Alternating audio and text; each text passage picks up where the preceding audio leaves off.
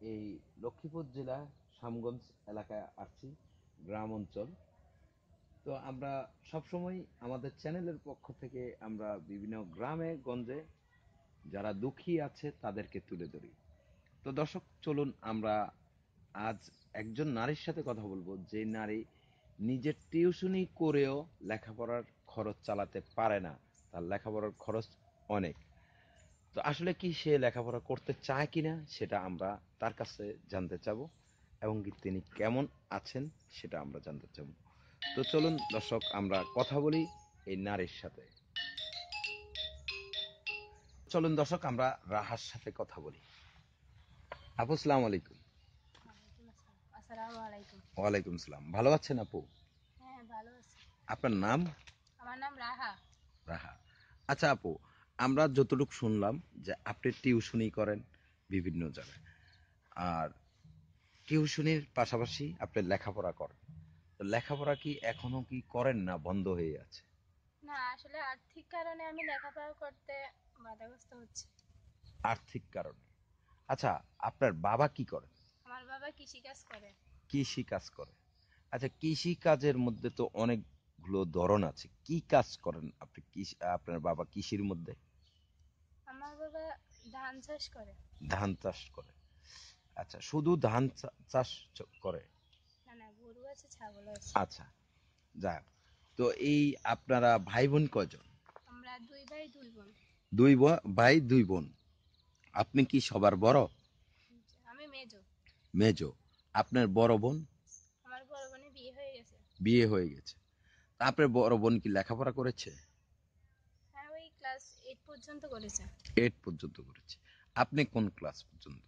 আমি এসএসসি পরীক্ষা দিয়েছি পাশও করছে কিন্তু টাকার জন্য পড়তে পারতেছি না।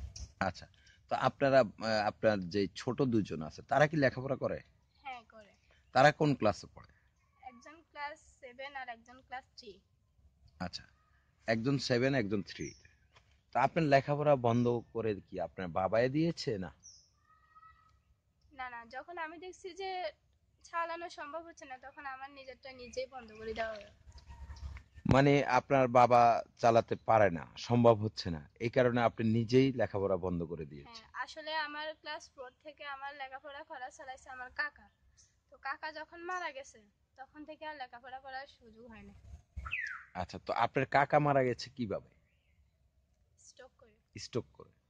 আচ্ছা তা আপনার আর কোনো কাকা নেই? উনি আছে বড় জেঠু একজন আছে। হুম। সব ফ্যামিলির মধ্যে ভালো খারাপ আছে। তা আমি মনে করি যে আমার কাকার মতো পৃথিবীতে এমন কোনো লোক নাই। আচ্ছা মানে আপনার কাকা অনেক ভালো ছিল? অনেক ভালো ছিল। আচ্ছা কাকার কি পরিবার আছে? আছে। ওনার ছেলে মেয়ে কয়জন? ওনার দুই মেয়ে এক ছেলে। আচ্ছা তো আপনার কাকা কি করতেন? আমার কাকা রড সিমেন্টের দোকান ছিল। আমার কাকাতো বোন দুইজন আর কাকাতো ভাই একজন। তারা কি লেখাপড়া করেন? বড় বোনের বিয়ে হয়েছে। বিয়ের পর দোনো বাড়ি উপরালা কপাল খারাপ করছে যার কারণে এখন রয়ে দোনো বাড়ি। মানে কেন? কি সমস্যা হয়েছে? তাদের ফ্যামিলি ফ্যামিলির সমস্যা জানি না। জানেন না। আচ্ছা একই বাড়িতে তো থাকেন না?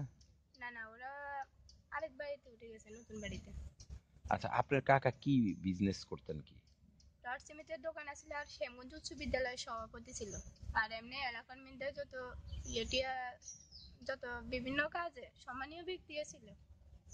আচ্ছা তো কাকা মানে মারা যাওয়ার পরে আপনাদের একটু অসুবিধা হয়ে গেছে লেখাপড়া করতে পারেন না।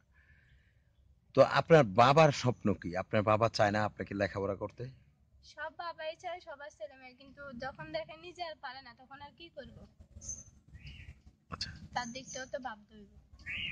তো এখন আপনি আমরা যতটুকু জানলাম যে আপনি টিউশনি করেন। হ্যাঁ। তো টিউশনি করে কত টাকা আয় করেন? চার হাজার টাকা প্রায়। চার হাজার টাকা। তো কতজন আপনি টিউশনি করেন? চার পাঁচজন। চার পাঁচজন। এই টিউশনির টাকা দিয়ে কি আপনার লেখাপড়া চালানো সম্ভব? আমি তো মনে করি না এত কম টাকা দিয়ে লেখাপড়া খরচ চালানো সম্ভব না। সম্ভব না। না। আচ্ছা আপনি লেখাপড়ার পিছনে কত টাকা খরচ আছে সেটা বলতে পারবেন? একজন স্টুডেন্টের পুরোটা পড়ালেখার হিসেবে অনেক টাকাই খরচ হয় বিভিন্নভাবে। যাতায়াতের ভাড়া এমনিতে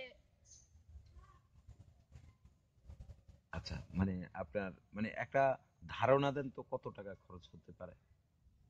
আমি তো চাই যে কোনো ভালো কলেজে ভর্তি হয়ে পড়ালেখা করি। আমি। কিন্তু ওটা তো পাইতেছি না। আর আমি স্টুডেন্ট হিসেবে খুব ভালো স্টুডেন্ট খুব ভালো। আপনার রোল নং কত ছিল? আমার ক্লাস সিক্স থেকে আমার রোল তিন চার। তিন চার। আচ্ছা স্কুল থেকে যেমন আমরা জানি যে বৃত্তি দেয় ওটা কি দেয়? আসলে ওই সময় বৃত্তি কেউই পায় না। দু হাজার সতেরো সালে পরীক্ষা দিছি। ওই সময় হয়তো সম্ভব হয় না। আচ্ছা। তো এই আপনার লেখাপড়া করে কি ধরনের স্বপ্ন দেখেন আপনি?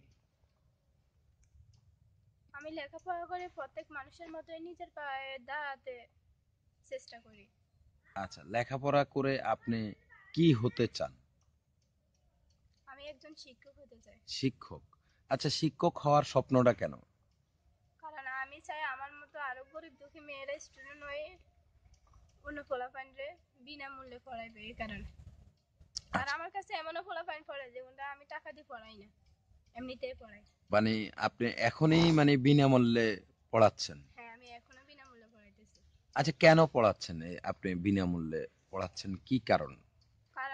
চাই না যে আমার মতো অন্য কেউ পড়ালেখা থেকে বঞ্চিত হোক। আচ্ছা।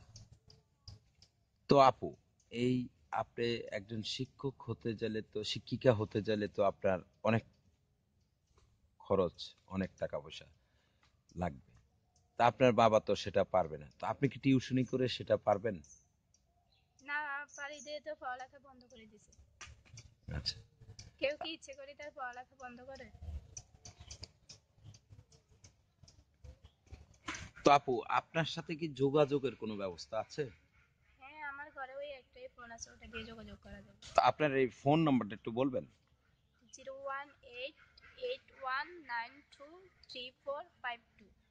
আরেকবার বলেন।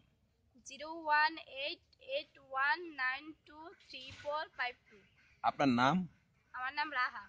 রাহা। আচ্ছা রাহা। তো আপনার যদি কেউ মনে করেন দায়িত্ব নিতে চায় যে লেখাপড়ার খরচ দিতে চায় আপনি কি নেবেন? অবশ্যই নিয়ম কারণ এছাড়া তো আর কোনো উপায় নাই। আচ্ছা। তো রাহা আমাদের সমাজে তো অনেক ছেলে মেয়েরা লেখাপড়া করার সুযোগ আছে অনেকে করে না। তাদের উদ্দেশ্যে আপনার কিছু বলার আছে? আমি চাই প্রত্যেক পোলাপানি সুন্দরভাবে লেখাপড়া করুক আর যারা করে না তাদেরকে বলি তারা যেত পড়ালেখাটা করে কারণ এ তাদেরই ভালো হইবে। আচ্ছা রাহা আরেকটা বিষয় আমরা একটু আপনার কাছ থেকে জানতে চাই। তো যে বিষয়টা জানতে চাই আপনার এসএসসি তে কেমন রেজাল্ট আসছে? সেটা একটু আমাদেরকে বলবেন? আসলে বিভিন্ন কারণে আমার রেজাল্টটা ভালো স্টুডেন্ট হওয়া সত্ত্বেও খুব খারাপ হয়েছে। আমি মনে করি এই কারণে আমি নিজে দেয় না সমাজ নিজে দেয়। বিভিন্ন বইপত্র কেনার জন্য বিভিন্ন পড়ালেখা করার জন্য বিভিন্ন জিনিস দরকার হয় কিন্তু আমি ওটা মোটামুটি পাই নাই।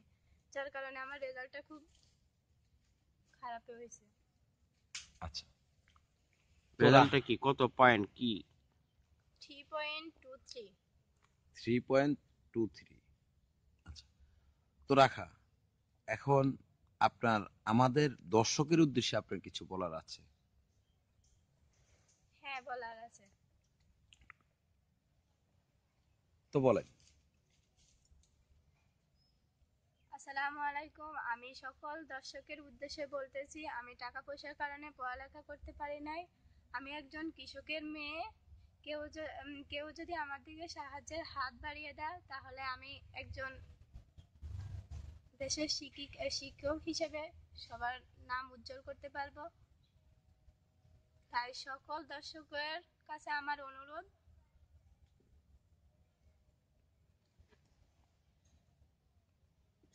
তাই সকলের দর্শকের কাছে অনুরোধ আমার লেখাপড়া করতে যাতে কোনো বাধাগ্রস্ত না হয় সকল দর্শক যেন আমার সাহায্যের জন্য এগিয়ে আসে। আচ্ছা তো ঠিক আছে দর্শক। আপনারা শুনতে পারলেন এই আমাদের এই বোনটির কথা। তো আপনারা সকলেই সবসময় নতুন করে আর বলতে হবে না। আমরা এই চ্যানেল থেকে আমরা বিভিন্ন জেলায়, বিভিন্ন এলাকায় যাই। যারা লেখাপড়া করতে পারে না, যারা বিধবা নারী আছে, যারা অসুস্থ প্রতিবন্ধী, তাদেরকে তুলে ধরি। তো দর্শক, আপনারা যারা যেখানে, যারা যারা আছেন, সকলেই ভালো থাকবেন, সুস্থ থাকবেন। আর যারা এখনও আমাদের চ্যানেলটি সাবস্ক্রাইব করেননি সাবস্ক্রাইব করে নেবেন এবং বেশি বেশি করে লাইক, কমেন্টস করবেন। তো দর্শক, ভালো থাকবেন, সুস্থ থাকবেন। আসসালামু আলাইকুম।